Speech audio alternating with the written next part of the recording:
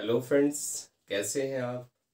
Friends इस पूरे week जो कमेंट्स रहे हैं, उन कमेंट्स में से मैंने कुछ कमेंट्स लिए हैं और फ्रेंड्स आज मैं उन्हीं का रिप्लाई करने की कोशिश करता हूँ और चलिए फ्रेंड्स स्टार्ट करते हैं। देखिए, एक कमेंट है, ये लिखते हैं किड्स वासु कि सर, लेकिन एक बात नहीं समझ में आई। आप कह रहे हैं कि कुछ स्पेशल बुक्स पढ़ लो, लेकिन आपने तो काफ़ी सारी बुक्स बता दी। देखिए फ्रेंड्स यहाँ जो टाइटल है वो ये है कि मैंने आपको बताया है कि मैंने कौन कौन सी बुक्स पढ़ी। लेकिन उसमें ये भी आपको बताया है कि किस बुक में से आपको क्या पढ़ना है। फ्रेंड्स बुक्स तो बहुत सारी हो सकती हैं, लेकिन उसमें से जो स्पेशल पोर्शन है, वो हमें पढ़ना है और वो ही हमारी स्ट्रेटजी होनी चाहिए और उसी से हमारा सिलेक्शन हो जाएगा।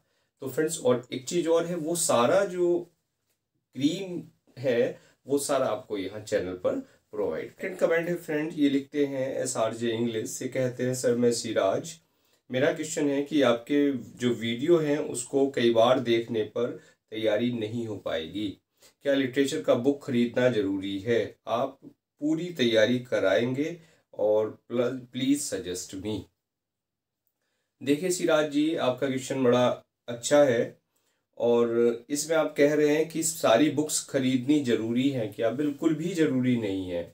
जो यहाँ चैनल पर आपको लिटरेचर या जो भी चीज़ें कराई जा रही हैं, वो ऐसी कराई जा रही हैं कि अगर आपने कुछ भी नहीं खरीदा और इन सबको ही आपने ऑब्ज़र्व कर लिया, ढंग से पढ़ लिया तो आपका सिलेक्शन हो जाएगा। लेकिन एक बेसिक बुक सलाह दूँगा मैं, एक बेसिक बुक ज़रूर आप खरीद लें कोई कंपटीशन की, क्योंकि यहाँ तो मैं इंपॉर्टेंट ही पोर्सन करा रहा हूँ। लेकिन उस बुक के माध्यम से आपको कुछ चीज़ें और एडिशनली पता लग जाएँगी। अदरवाइज़ आपको बहुत ज़्यादा डिटेल में जाना, बहुत ज़्यादा बुक्स खरीदनी ज़रूरी नहीं है।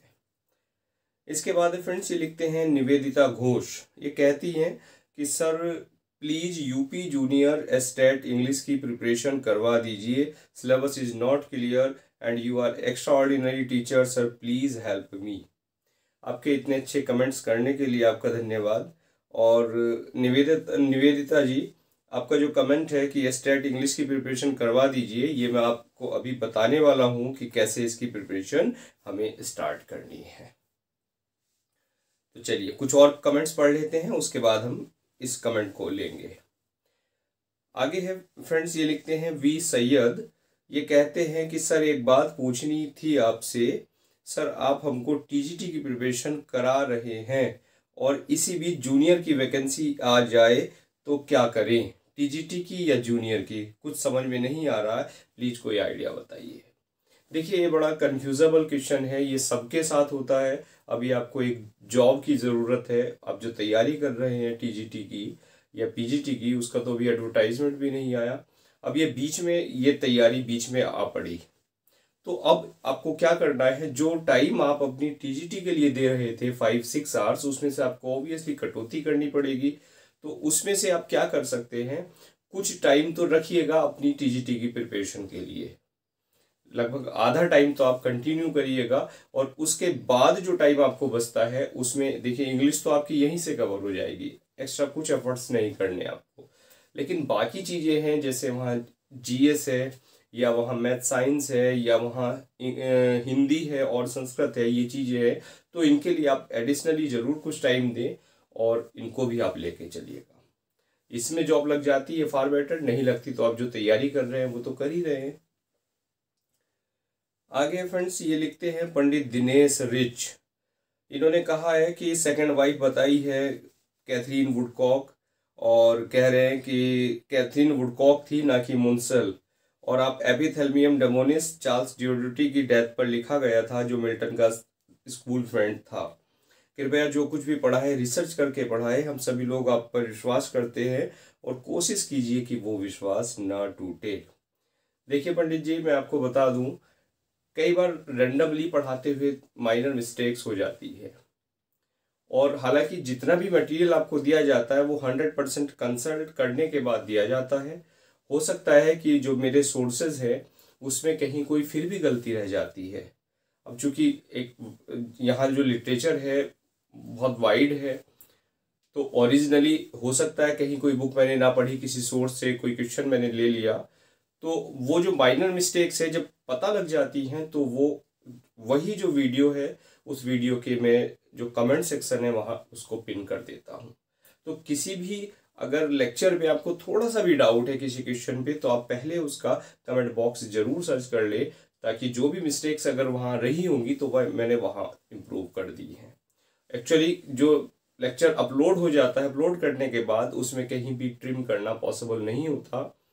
तो कोशिश मेरी यही रहती है कि हंड्रेड परसेंट ऑथेंटिक दूँ, लेकिन टू एर इज़ ह्यूमन और टू फॉर गिव डिवाइन आपने पढ़ा होगा, जानते होंगे तो हो जाती है, लेकिन उसमें भी आप सलाह ये है मेरी कि किसी भी जगह आपको लग रहा है कि मिसकंसेप्शन है या कहीं कोई मिस्टेक है तो आप कमेंट बॉक्स ज़रूर एक बार चेक कर लें। चलिए, आगे बढ़ते हैं। ये हैं शालिनी जी, ये कह रही हैं जूनियर हाई स्कूल की वैकेंसी आने वाली है।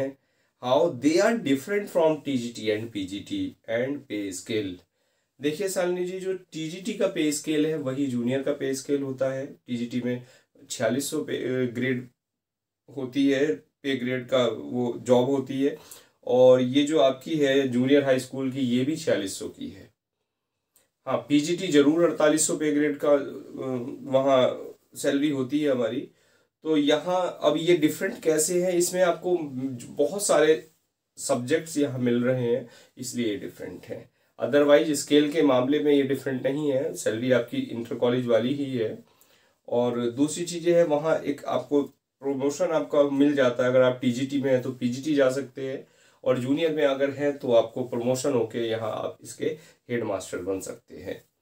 तो नो प्रॉब्लम कि आपकी जो जॉब है, अच्छी है। लेकिन इसमें आपको एडिशनली जो तैयारी करनी है, उसको आप देख लीजिएगा। अगर आपका जीएस अच्छा है और बाकी चीज़ों पे आप कमेंट कर कमांड कर सकते हैं तो डेफिनेटली आप इसकी तैयारी स्टार्ट कर दें। चलिए फ्रेंड्स आगे बढ़ते हैं।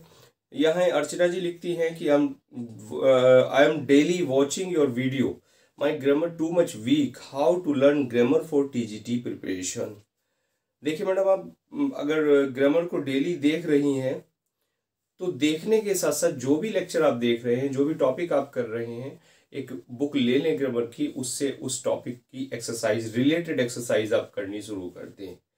वहीं से आप में धीरे धीरे इम्प्रूवमेंट होने लगेगा। और अगर आप केवल लेक्चर देखेंगी और उसके नोट्स बना लेंगी या उसको लर्न करने की कोशिश करेंगी तो आप उतना बेटर परफॉर्म नहीं कर पाएँगी। ग्रामर के साथ यही प्रॉब्लम होती है कि जो भी हम ग्रामर में टॉपिक करते हैं, उसका हमें जो टेस्ट होता है, वो बड़ा ज़रूरी होता है। तो टेस्ट के लिए आप एक्सरसाइज आपकी जो बुक होती है ग्रामर की, उसमें से किसी भी बुक से आप ले और वही रिलेटेड एक्सरसाइज आप करनी स्टार्ट करते हैं। चलिए, आगे हैं। शैली मित्तल जी लिखती हैं कि, सर, एक बार टिप्स और ट्रिक बता दीजिए, कोटेशन कैसे याद करें? और ये शेक्सपियर तो बहुत ही लेंदी है। कैसे ध्यान रहेगा? Please help, sir. मुझे एग्ज़ाम क्रैक करना है, मुझे नीड है। देखिए सालनी जी, पहली बात तो ये है कि सफलता का कोई शॉर्टकट नहीं होता। और दूसरी बात ये है कि जो कोटेशन है, ये सबसे टफ जॉब होता है लर्न करने के लिए। लेकिन इस टफ जॉब को मैंने आपको, जब कोटेशन में आपको पढ़ाता हूँ तो वहाँ एक्सप्लेन कर देता हूँ, किसने कहा, क्यों कहा, किससे कहा। तो उससे आपकी बहुत सारी चीज़ें, और जब आपको हिंदी में एक्सप्लेन कर दी जाती है तो कहीं ना कहीं आपके माइंड में वो बैठ जाती है। तो आप बार बार उसको अगर देखेंगे नोट करके पढ़ेंगे तो ऐसा कुछ नहीं है, बहुत सारी कोटेशन लर्न हो जाती हैं। अगर कोटेशन पूरी भी लर्न नहीं होगी, अगर आपको हु भी लर्न नहीं हुई, लेकिन उस कोटेशन को आपकी जो थीम है वो माइंड में आ जाएगी। और जब एग्ज़ाम में कोई कोटेशन उससे रिलेटेड या वो कोटेशन आएगी तो आप डेफिनेटली आपका जो आंसर है वो सही होगा। और बही, और रही बात अब शेक्सपियर की तो शेक्सपियर तो बहुत बड़े ऑथर है, अपने आप में एक यूनिवर्सिटी है। तो शेक्सपियर तो अभी चल ही रहे हैं, और कोशिश है हमारी जल्दी ही आठ दस दिन में हम शेक्सपियर को निपटा डाले। अमित सिंह जी लिखते हैं आगे कि सर सिंटेक्स का रूल भूल जाते हैं, कैसे इसको याद रख सकते हैं? क्योंकि थोड़ा कंफ्यूजन हो जाता है तो इस कंफ्यूजन को कैसे दूर कर सकते हैं? और thanks a lord for all notes. Amit Singh ji, देखिए सिंटेक्स के रूल भूल जाते हैं, ये बात डेफिनेट है। और ग्रामर में अगर आप सिंटेक्स ही कर रहे हैं तो रिलेटेड एक्सरसाइज ज़रूर कर लें। जब आप एक्सरसाइज करेंगे, वहाँ मिस्टेक्स करेंगे, उनको देखेंगे कि क्या मिस्टेक्स हो रही हैं तो डेफिनेटली आप रूल पे जाएँगे और जब रूल पे जाएँगे तो वहाँ से आपको रूल है, वो परमानेंट लर्न हो जाएगा। और अगर आप केवल रूल ही लर्न करते जा रहे हैं तो वो कुछ टाइम बाद आप भूल जाएँगे। तो जो भी रूल आपने लर्न किए हैं, उनकी जो एक्सरसाइज हैं रिलेटेड उनको आप ज़रूर सॉल्व कर लें। उसी से आपकी ग्रामर इम्प्रूव होगी। आगे है, ये कोमल जी लिखते हैं, कोमल मासी, ये लिखते हैं या लिखती हैं जो भी हैं आई डोंट नो कि सर आपने जितने भी वीडियो डाले हैं, क्या वो सब हमको एक साथ मिल जाएँगे? जी हाँ जितने भी वीडियो लेक्चर्स हैं, जब आप चैनल पे जाते हैं, चैनल के जो फ़र्स्ट पेज पे जाते हैं, उसको आप स्लाइड करते हैं तो एक पोर्शन आता है वीडियोस, उसके बाद आता है प्लेलिस्ट। तो आप जब प्लेलिस्ट में जाएँगे तो प्लेलिस्ट में आपको सारे वीडियो लेक्चर्स मिल जाएँगे और स्पेशली वो वहाँ सिस्टम में लगे हुए मिलेंगे। मीन्स वर्ड्सवर्थ है तो वर्ड्सवर्थ के सारे लेक्चर एक साथ मिलेंगे। ग्रामर का कोई टॉपिक है डायरेक्ट इनडायरेक्ट है तो उसके एक साथ मिलेंगे। तो आपको सारे लेक्चर्स वहाँ मिल जाएँगे, वहाँ से आप अपनी ज़रूरत के लेक्चर वहाँ ले सकते हैं और उनको आप कर सकते हैं।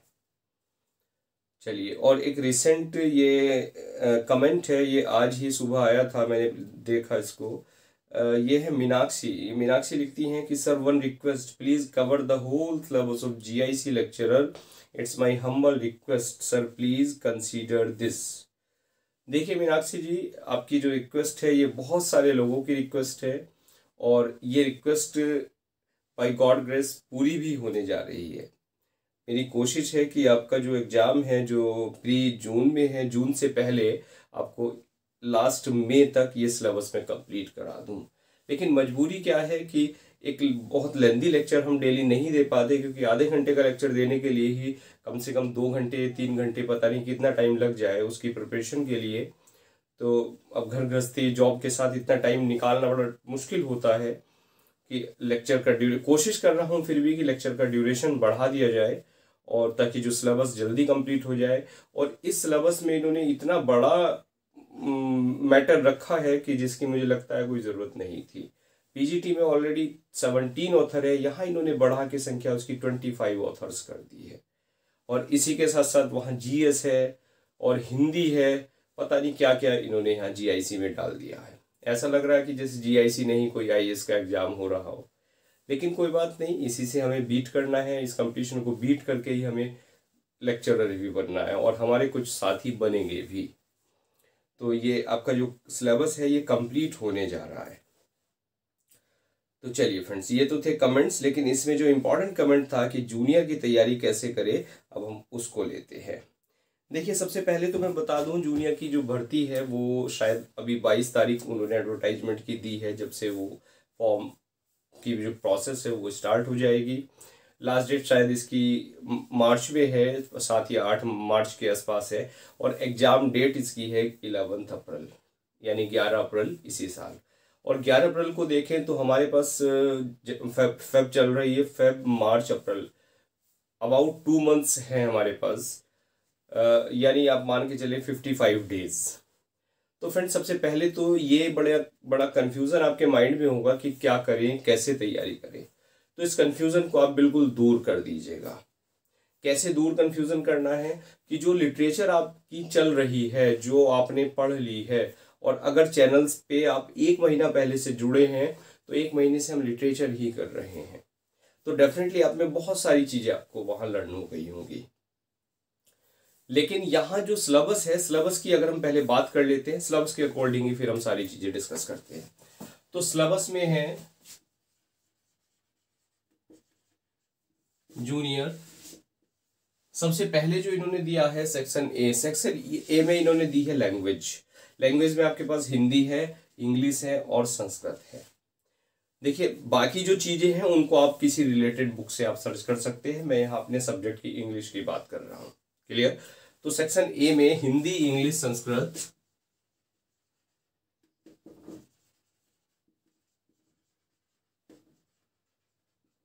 ये है। सेक्शन बी में है सेक्शन बी में है हमारे पास एस स्टडीज़ सोशल स्टडीज़ और जो सेक्शन थर्ड है, उसमें इन्होंने बांटा है, एक तो मैथ्स है और एक साइंस है।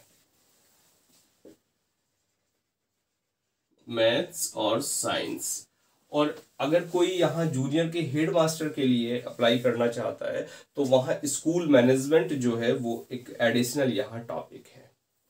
क्लियर स्कूल मैनेजमेंट का। तो स्कूल मैनेजमेंट से भी क्वेश्चन आएँगे। अदरवाइज़ टीचर के लिए ये थ्री सेक्शंस यहाँ इन्होंने कैटेगराइज किए हैं। अब इसमें बाकी चीज़ें आप कर सकते हैं। इजिली किसी भी बुक से आपको यहाँ मिल जाएगा मैटर लेकिन अब बात कर लेते हैं हम इंग्लिश की। इंग्लिश में है फ्रेंड्स देखिए यहाँ इन्होंने सबसे पहला जो टॉपिक दिया है, वो दिया है history of English literature and language history of English literature and language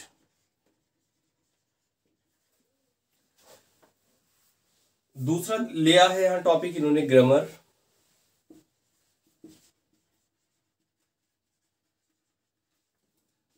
तीसरा है अनसीन पैसेज और जो चौथा टॉपिक है फ्रेंड्स वो है यहाँ पर राइटर उनकी इंफॉर्मेशन और उनके works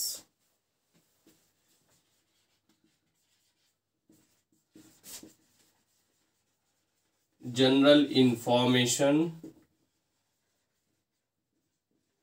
and works अब देखिए, एक एक पॉइंट हम डिस्कस करते चलते हैं। सबसे पहले है हिस्ट्री ये मैं हमेशा से कहता हूँ कि अगर आपको लिटरेचर पढ़नी है तो सबसे पहला जो टॉपिक आपको पढ़ना है, वो पढ़ना है हिस्ट्री ऑफ़ इंग्लिश लिटरेचर किसी भी भाषा की आप अगर लिटरेचर पढ़ना चाह रहे हैं, हिंदी, संस्कृत, कोई सी भी हो तो सबसे पहले उसकी आपको हिस्ट्री पढ़नी है।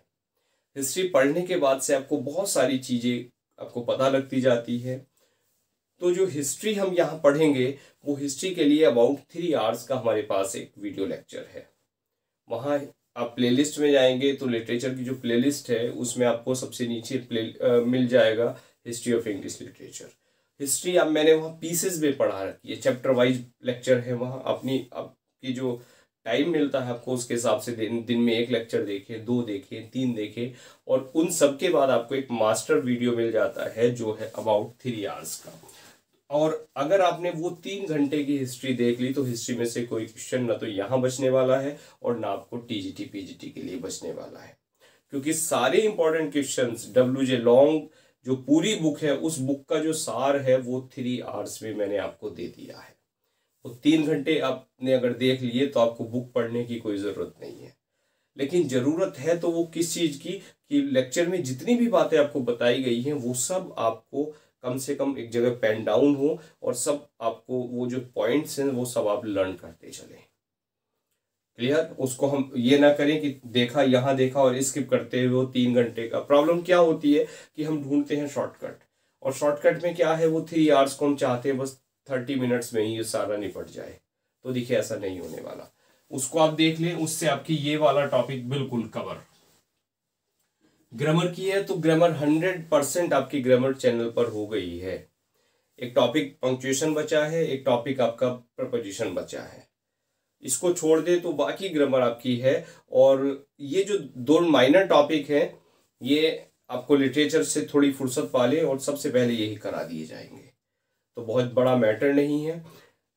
तो अब ग्रामर को कहाँ से शुरू करें? ग्रामर में आप सबसे पहले शुरू कीजिए पार्ट्स ऑफ़ स्पीच देखिए, इसमें एक एक आपको प्लेलिस्ट मिलेगी ग्रामर की।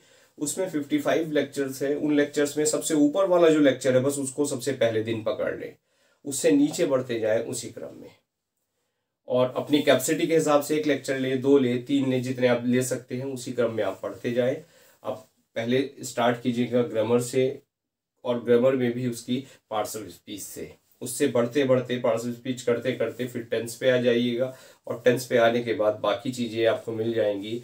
वॉइस और नरेशन है ट्रांसफॉर्मेशन है सिंथेसिस है और आपका सिंटेक्स है। तो ये सारी चीज़ें आपकी वहाँ से कवर हो जाएगी। तो ये इसकी कोई टेंशन नहीं है, ये दोनों टॉपिक आपके डन बात समझ में आती है? बात आती है अनसीन पैसेज की। अनसीन पैसेज बहुत बड़ा मैटर नहीं होता। अनसीन पैसेज में एक्चुअल में देखिए कंफ्यूजन हमें होता है।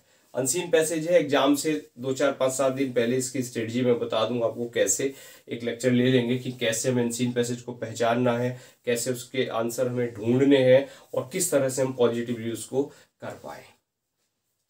नेक्स्ट है राइटर्स उनकी जनरल इंफॉर्मेशन और देखिए यहाँ जनरल इंफॉर्मेशन से मतलब है यहाँ ये उन्होंने शायद बायोग्राफी के लिए ये वर्ड्स यहाँ यूज़ किया है।